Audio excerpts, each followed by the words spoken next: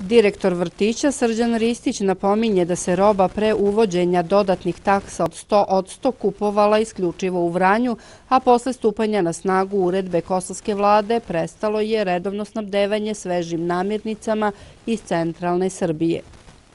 Moram reći da situacija nije na zavidnom nivou ovaj, posle uveđena takse od 100 od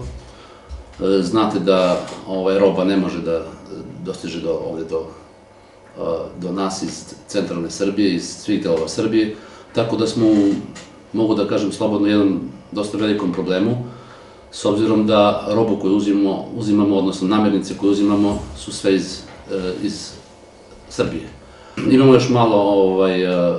zaliha, ali mislim da u narednom periodu bi već morali da, da dobavimo određenu hranu kako bi nespetano funkcionisali, kako deca ne bi imala, odnosno mi sa decom ne bi imali probleme oko ishrane dece. Koliko dođe da ukinu srpske tablice, da ne mogu ljudi da dolaze na poslu, koliko nam ne dozvole da, da uvezemo hranu iz Srbije koju dopremamo za, naše, za, ne, za našu decu, onda bit ćemo u problemu velikom i može doći do, na kraju krajeva i do nekih drugih mera da bismo mogli možda privremeno da ovaj, stanemo sa, obostavimo rad kako bi mogli da nekom narednom periodu, ukoliko nešto bude bilo pozitivno rešeno, da nastavimo te rade.